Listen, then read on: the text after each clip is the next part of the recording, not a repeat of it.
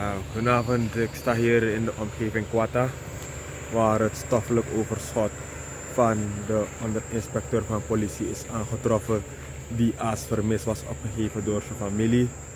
De politiemanschappen en verschillende eenheden hebben alles effort in het werk gestopt om uh, na te gaan waar hun collega is.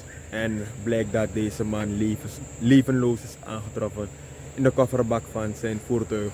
Er is een uh, verdachte aangehouden in deze kwestie.